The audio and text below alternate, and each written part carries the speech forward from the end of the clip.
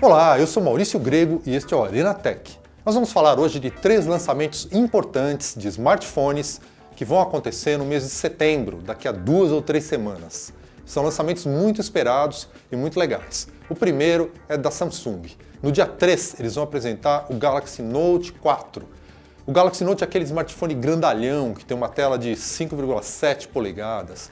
Ele é um meio tamanho aí entre um tablet e um smartphone. Por isso as pessoas apelidaram esse tipo de aparelho de phablet, uma mistura aí de fone com tablet. E o novo modelo pode trazer uma lateral de metal parecida com a do Galaxy Alpha, que a Samsung anunciou nesta semana, além daquelas aquelas atualizações habituais quando chega uma nova geração de smartphones, como o processador mais rápido e nova versão do Android. Um dia depois, no dia 4 de setembro, é a vez da Motorola lançar novos aparelhos. E são vários. Eles vão ter novas versões do Moto G, aquele smartphone bom e barato que faz bastante sucesso no Brasil. Vão ter uma nova versão do Moto X, que é o smartphone de topo de linha deles.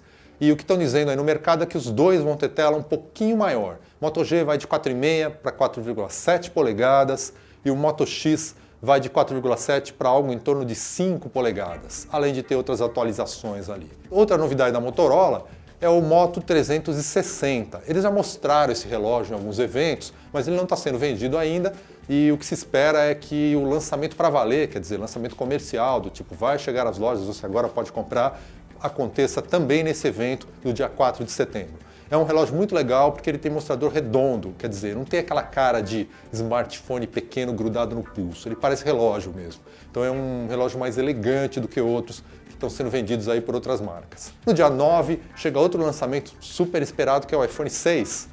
A data não está confirmada oficialmente, mas muita gente vem falando nela, então nós achamos que é, vai ser nessa data mesmo, 9 de setembro. Apple vai apresentar o iPhone 6 que deve ter dois tamanhos, dois tamanhos maiores que os atuais. Vão ser 4,7 e 5,5 polegadas.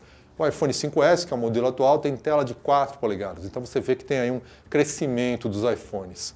E além disso, nova versão do iOS, sistema operacional, novos recursos de câmera e uma série de outras novidades aí, inclusive voltadas para a área de saúde, de monitoramento da saúde do usuário, que vão estar no iPhone 6. Este é o Arena Tech e nós falamos sobre os lançamentos importantes que vão acontecer no início de setembro.